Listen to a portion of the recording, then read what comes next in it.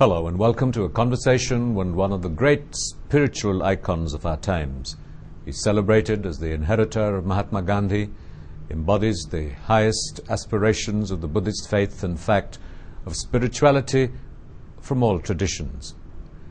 He's cultivated the meeting ground between science and faith, between religions, between the evolution of the human condition, its crises, its predicaments. He has reached out and touched hearts and minds of millions of people across the world. I'm deeply honored, blessed, and privileged to welcome His Holiness the Dalai Lama. Your Holiness, as we record this program, it's uh, the 50 years uh, since you arrived into exile in India uh, because of uh, the imperatives of Chinese military presence in Tibet. You have uh, frequently described India uh, as the guru to the Tibetan Chela. It's a very special relationship. on this commemoration, I was sort of going to say celebration because at one level we in India celebrate you and we celebrate the Tibetans, uh, but it's also, it marks a very sad moment in Tibetan history. Uh, but your presence in India, what are your feelings? What are your emotions uh, at this landmark? Of course, for a great master, there are no landmarks, and every day is an unfolding present. But what are your feelings towards India and this moment? Of course, uh, I think uh, uh, from the Buddhist university uh, concept, Pratitya interdependency. So one event, there are a lot of different sort of what's the aspects. Uh, so last 50 years, in a way, we lost our own country, and particularly last 50 years inside Tibet, there are a lot of ups and downs, and most cases, uh, very, very suppressive sort of experience. Uh, so, uh, very sad. But one way, uh, we homeless person found new happy home with complete freedom uh, where you can uh, say, utilize human creativity nature and get these new ideas, new things, new concept. Uh, after all, India, I think uh, they, I think the country through centuries, many different ideas, different concepts developed in this country. So uh, I also, you see, get, I think, some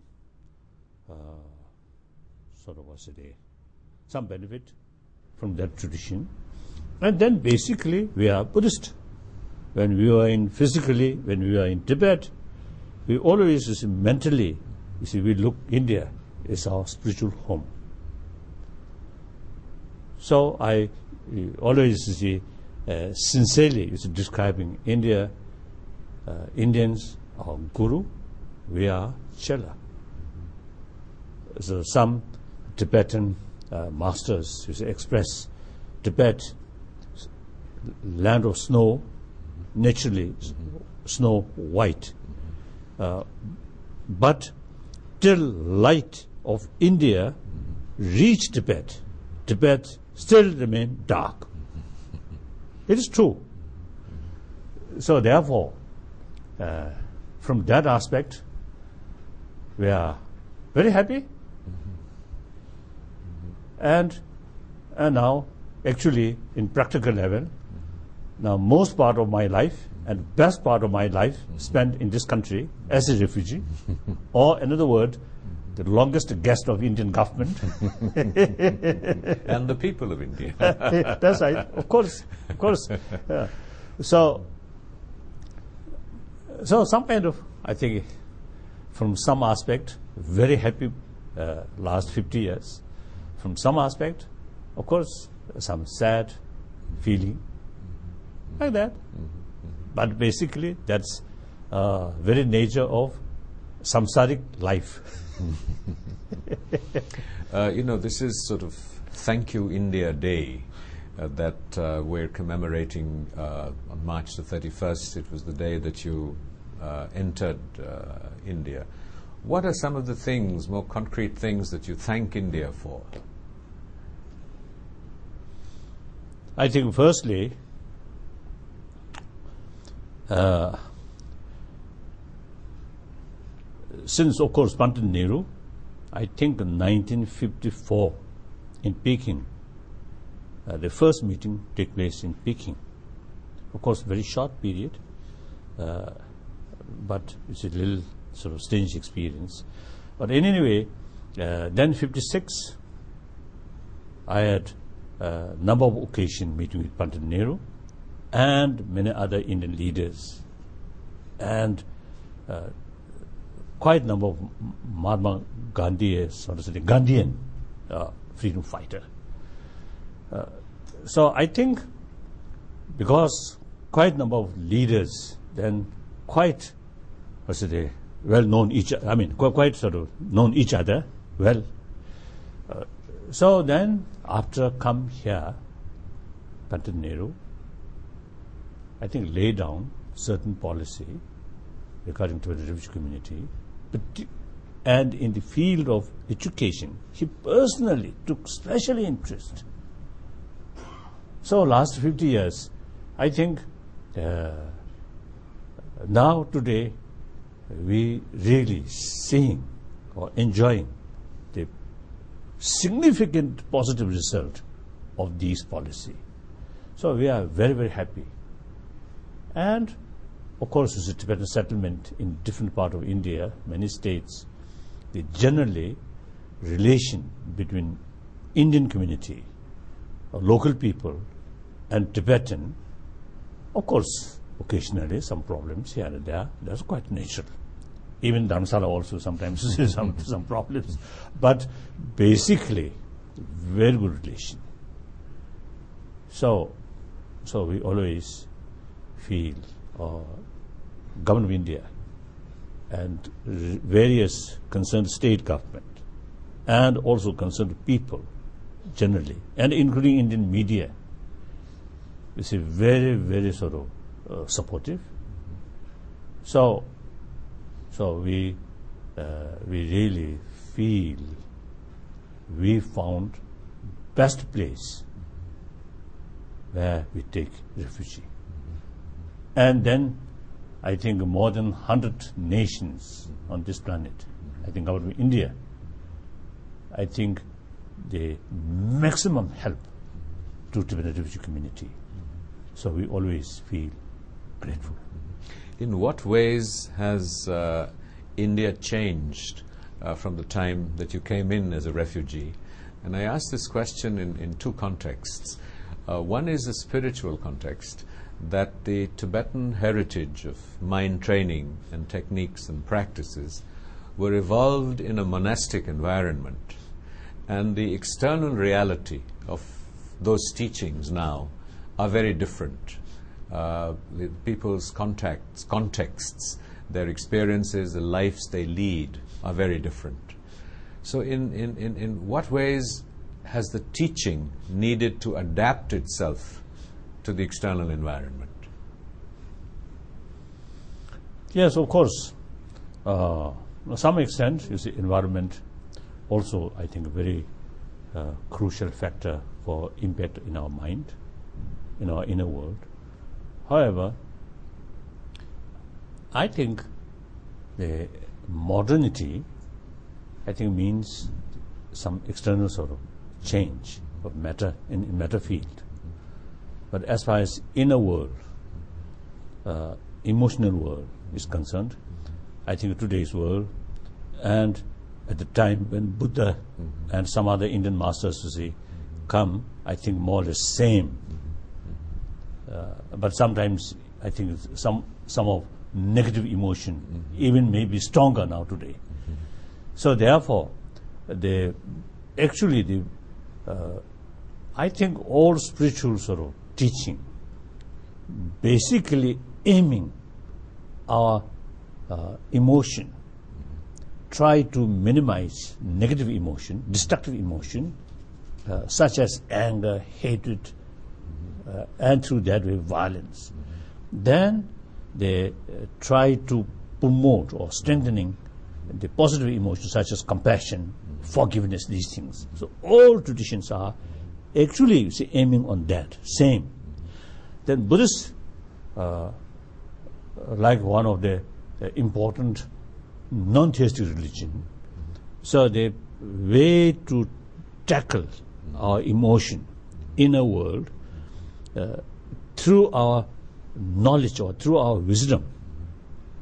Uh, so usually I describe the Buddhist way of you see training our mind is to utilize human intelligence maximum way through reasoning, through logical approach, then transform our emotion.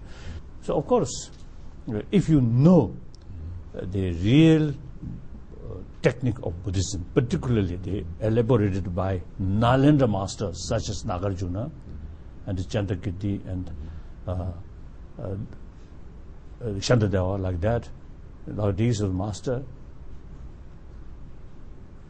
In a way, it also kind of what I don't know the exact sort of meaning, but usually I feel something like humanism, some kind of humanism. That means not talking about you is some mysterious level, but today's day to day our sort of emotional thing. Buddhism, you see, mainly you see dealing with that through daily experiences.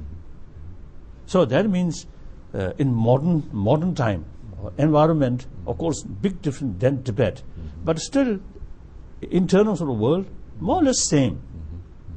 This is my view. In terms of this uh, evolution, one of the remarkable things about you, Your Holiness, that uh, you're into your 70s, uh, you still engage in several hours of uh, personal practice. Uh, you still receive teachings and initiations from other Buddhist masters. Uh, yours is a continuing evolution, a continuing journey. Uh, many spiritual teachers uh, have a tendency uh, to claim a peak experience, you know, like under the Bodhi tree, the Buddha, or someone got some great uh, insight, and then the teaching follows. In these 50 years, in what ways do you feel you have changed?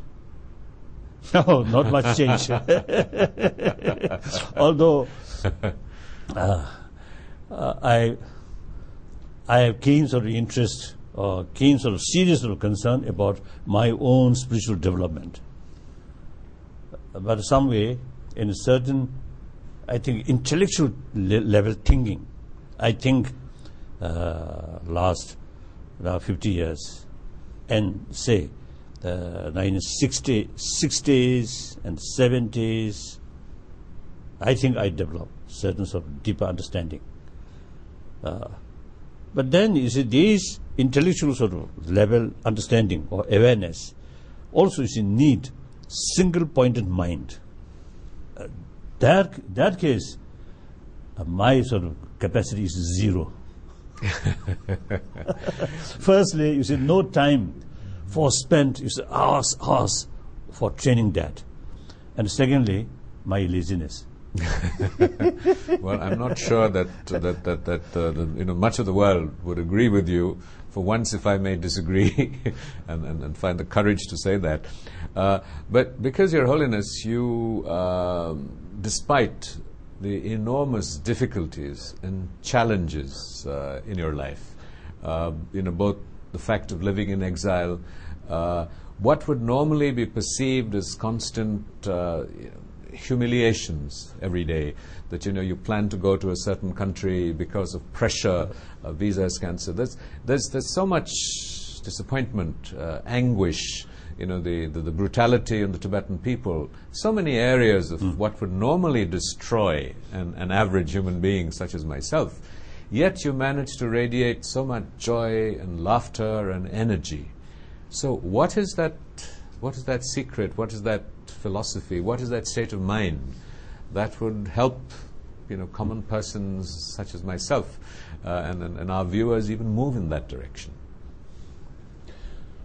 as I mentioned at the beginning, they look to any sort of event uh, from wider perspective. then I think the negative emotion, destructive emotion, or disturb, disturbing sort of emotion, usually, you see, they have some kind of target, independent, absolute. The, there, when you carry more holistic sort of, or say, view, or more, more totality, more, more total, totality, what what called totality? Oh, no. Uh, or concept of interdependency. Then uh, you can see this event not take place because of one sort of cause, but many other causes. Uh, and previously, and also at present, at same time, you see, due to this fact, this happened, due to that, this happened, like that. So that view, that concept really, they destroyed the independent absolute target. So then the negative emotion, you see, cannot find the target. That's, I think, one, uh, uh, for according to my own experience, and also some of my friends, spiritual friends, also say, have the same sort of experience. Immense help. When you see there's some positive things happen or negative things happen, look from wider perspective, then uh, you see, you can't find something to blame or something too much attached. So that really helpful to maintain or sustain calm mind, more balance. Like, what's it, uh, some uh, tranquilizer or something like that, something like that. You see, the, our mind usually, some positive things happen, too much of excite. Some negative things happen, too much sort of uh, sad or something like that. So they uh, tranquilizer, uh, uh, like you see, they uh, more the more balance. So that's very very helpful. And then, then also you see when one event. Now, for example, we lost our own country. A lot of sort of uh, sufferings there. But you see, uh, I always is telling people and also feel if still I am I am in Potala, uh, the holy place and the holy Dalai Lama, then I may not be like today sort of my thinking, way of thinking, more practical, more sort of realistic. You know, sometimes you see, uh, you remain on high throne and that, then, then you have your own sort of world. Sometimes it's a little distance from the reality. Uh, and then naturally, see, because refugee, uh, I have many, many opportunity to meet different people. Uh, each meeting, I get some sort of new experience or new learning. And particularly different the follower of different tradition and also including many scientists. Like that. Uh, so one way lost our own country. But meantime that same sort of event also brought a lot of sort of positive thing then mentally more balance like that. So uh, so every event uh, negative if you look from another angle, you may find some positive things. So that also one way is it to make more balance our emotion. So while you have uh, uh attained uh, more than just balance, you have attained, uh, you know, uh, I think uh, millions of people recognize you and, and, and regard you as a living embodiment of the Buddha and many aspects of, you know, the Buddha of compassion. But yet, would you say that in what ways has the reality of from 50 years ago today uh, really changed? And do you feel that the, the reality has changed for the better, uh, for the cause that you embody? Is today's reality more favorable? Uh, do, do hmm. things look more positive and optimistic uh, 50 years into exile for the cause that you stand for? My main now, uh, since some time back, I think more than 40, 40 years, uh, as a result of new experience and also seeing a different event on this global sort of uh, event. Uh, and I develop more sort of conviction as firstly as a human being. I am one of the six billion human beings. So individual human beings' future depend on the rest of the humanity. It's clear. We are social animal. Uh, uh, then, uh, uh, second, as a religious person, Buddhist monk. So seeing, you see many conflict in the name of religion. Then, uh, because of these sort of uh, experience, or learning, I develop firm conviction as a human being, one of, uh, as a one individual small contribution, try to make clear our human brothers sisters the ultimately source of inner strength, source of peace is not on money, not on power, but not, not only on our intelligence or knowledge, but warm-heartedness. There's nothing to do with religion. Even now, modern scientists, they say, more compassionate person, you get more peace of mind. That immense benefit for our health and a happier human family. So, uh, my commitment to promotion of human value, that means mainly promotion of warm-heartedness. Uh, that's my number one commitment. Number two commitment, as a Buddhist, as a religious person, the, in spite different philosophy, different tradition, and also despite a lot of bad experience in the past, sometimes it's holy war, killing each other, but in spite that, now today's reality, you see, firstly, we have to live together, whether we like it or not. World becoming smaller, smaller, heavily interdependent. Uh, under, with that, we have to live together. And then same time, the all, all major religious tradition, in spite different philosophy, see, all carry same sort of, uh, say, the practice or message, message of love, compassion, forgiveness, like that. Uh, so there is a real sort of basis for promotion of genuine harmony. So these two fields, uh, I think uh, I made some contribution for promotion of these two things. So still, till my death, till my last breathing, I fully committed. So now more and more uh, sort of good human being, including many scientists, uh, are really uh, supporting or share, sharing the same view and making some effort from their own different fields, different professional way. Very good, wonderful, encouraging. And then also the religious harmony. Now many uh, spiritual brothers sisters now really making effort for promotion of religious harmony. So uh, so now I have, sometimes I feel I have a lot of comrades in these two fields. Uh, so I'm just one of them. Uh, so judging from that, this body, uh, now uh, 74 years nearly, I feel some usefulness, uh, well-being of others, or well-being of this planet. And also, of course, when I come uh, uh, India as a refugee, and I have no idea about importance of environment. Now gradually learning from specialists, those experts, then I really realize now world is our home. This small planet is our only home. And meantime, population growing.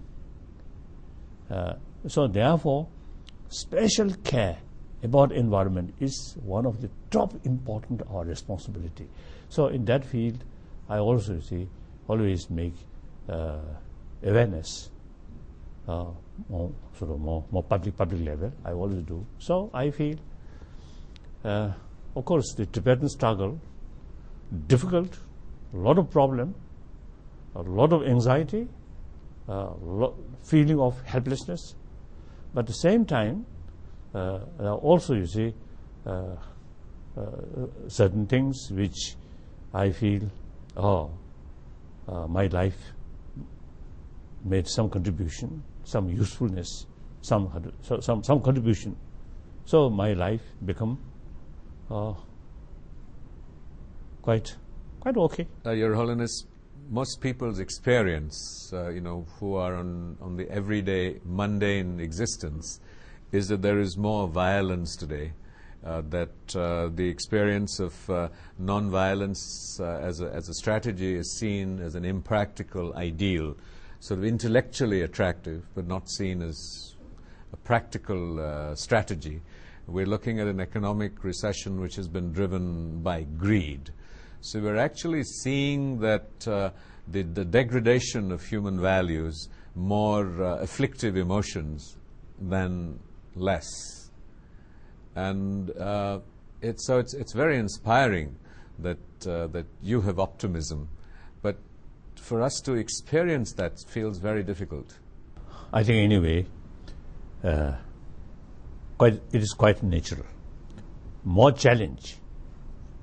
Uh, then that may provoke our mind. Then think, oh, now our usual sort of uh, certain things we take for granted, now that may be something wrong. Then we human being, not I'm something special person, but every human being have the same potential. You see, if you think more seriously, uh, thinking more wider perspective and more investigation, then you get clearer picture about the reality. I think many cases uh, our activities or our sort of thinking uh, based on appearance. Appearance, there are sometimes Buddhists describe as illusion. So appearance, there is always gap, appearance and reality. So when things are okay, then uh, we usually should take the easier way, just uh, on the basis of appearance. When things become more difficult, then we go to more investigate, thinking deeper way about the reality. So I think they uh, now today, I think people uh, in the 20th century, in early part of 20th century, sacrificed millions of human life and using, using nuclear weapon on human community. But what result? More suffering, more hatred, more division. Uh, so then they, through violence, you cannot uh, you cannot eliminate entire community who disagree with you. Impossible. So we have to live with them. So the dialogue non-violence become now reality. More effective. Dialogue. Try to uh, find solution through talk. Uh, not concept of one side win, one side victory, one side uh, sort of defeat. Not that way. So I think non-violence concept now becoming more and more as a day. I think reality. Uh, now here I have strong sort of feeling I always telling my Indian friend, my gurus, uh, and also I want to share, uh, I want to tell uh, our interview, through this interview, to, to appeal my Indian sort of brothers, sisters.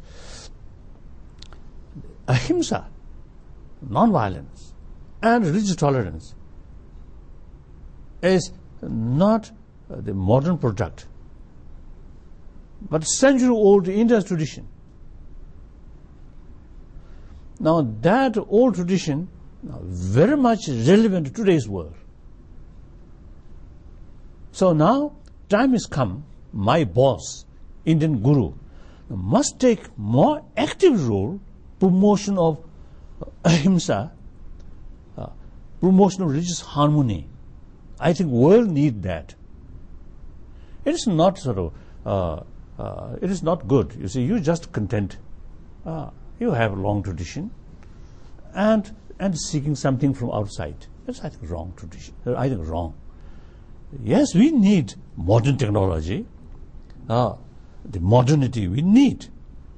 But meantime, there's some of our traditional value now must be active and not only keeping since the whole world becoming one entity, one, one entity. So they promote this uh, religious harmony and non-violence.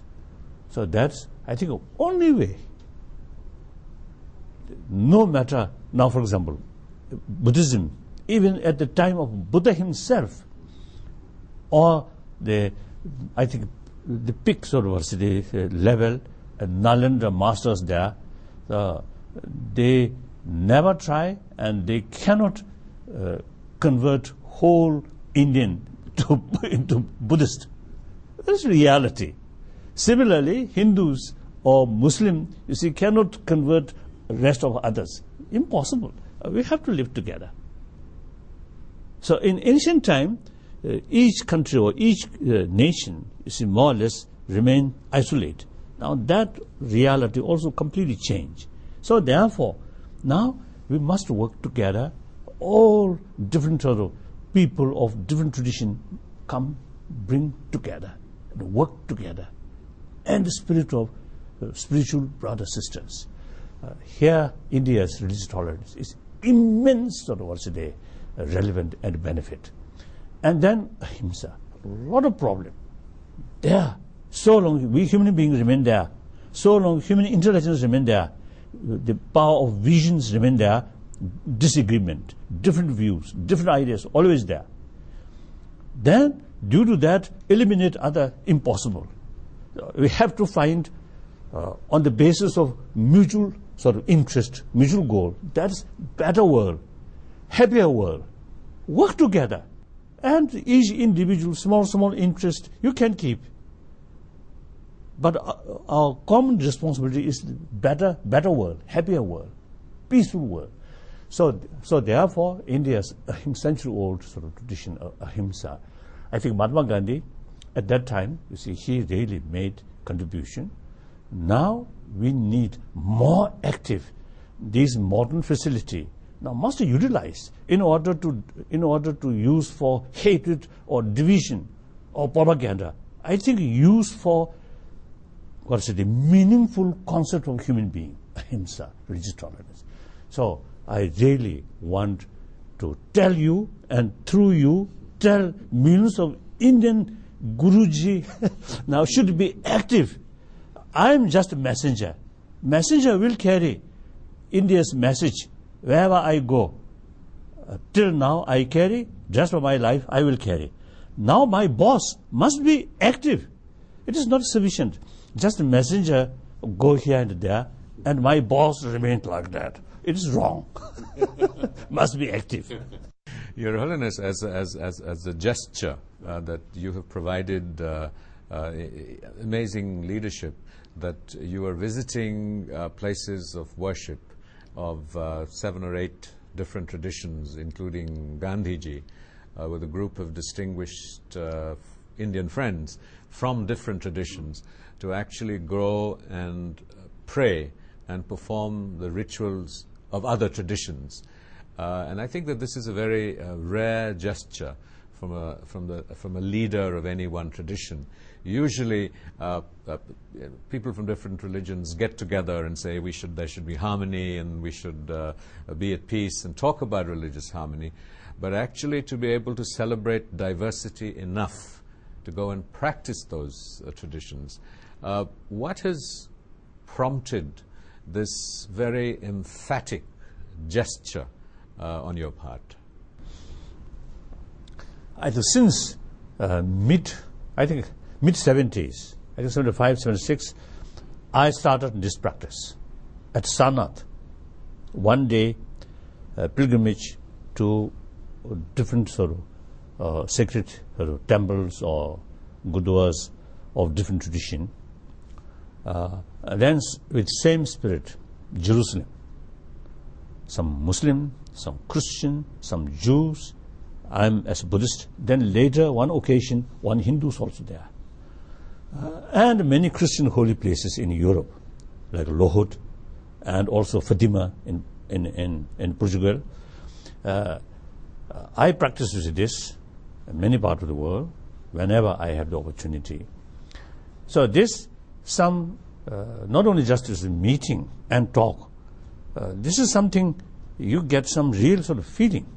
And one occasion, some my Christian friend, as he came to, uh, as a result of my sort of visit to their place and give teaching uh, gospel, uh, at qu- quite difficult. You see, I'm actually, uh, strictly speaking, non-believer of God, or Creator, but I sincerely, you see, teaching them the existence of Creator, God. It was a wonderful book called Good Heart. right, right, right. So difficult job, but in any way, you see, they afterward, you see, uh, the audience, many of them, you see, really, you see, get sort of has a complete satisfaction. In any way, as a result, you see, their group come to India, at Bodh few days seminar, and each morning, the Christian brothers sisters, silent meditation under Bodhi tree. It's a, such experience is immense sort of uh, benefit in spiritual level or mentally or emotionally. Now, not only you see they uh, showing friendship, but also you see they share some of deeper experience or vibration in these different holy places. So now I'm very very happy. You see they uh, have this, this opportunity uh, uh, group with sort of uh, representative or uh, practitioner of different tradition together go different uh, temples or, or, say uh, a sacred place uh, in Delhi as a uh, India's capital. I feel I feel this good start. Now I have a strong feeling. Now we must carry this kind of work more active continuously. And not only within the country, but eventually the rest of the world must show our practice. That's I, I feel I feel very necessary. If you'd like to sort of uh, send out a, a, a message, a, a greeting uh, to the people of India, uh, we're on Doordarshan, it's a national public broadcaster. Uh, people are watching you uh, all over the country uh, on this 50th anniversary. What would you say to them? so I want to take this opportunity to express my thank, appreciation to people of this country and government of this country and same time reflect last 50 years uh, how much uh, Indian people, Indian government is help us I think Indian government take maximum care of us. Thank you.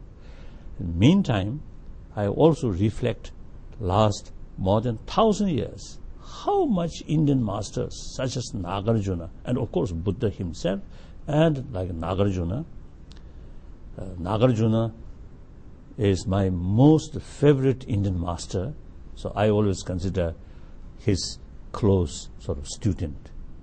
Maybe one of my previous life, some connection, some sort of direct connection with him. Maybe, I don't know. but in any way, while I'm thanking India, uh, I can't stop reflection of thousand years uh, Indian masters sort of help to us to open our mind, open our uh, intelligence or in intellectuals. So, thank you very much. Now, India, I think the traditionally, the, I think almost the most spiritual sort of, or say, or say, very very strong spiritual tradition developed, and also today, generally speaking, Indian masses uh, very much sort of religious minded. Or sometimes I have some critics, Indian sort of the uh, faithful sort of religious-minded people simply uh, recite some Sanskrit word without knowing the meaning, and some offering flowers or fruit like that, without much interest to study about philosophy, about this deeper meaning of spirituality. That uh, my constructive criticism. Please, you see, take more sort of pay more attention to study meaning. Uh, uh, so I want I want to thank to you and now, today's world, I think India, not only in economy field or technology field, India, I think from your traditional values or traditional sort of India sort of treasure, such as non-violence, such as religious harmony, I think you have great potential to, to contribute uh, immense contribution for better world, for harmonious world. Thank you.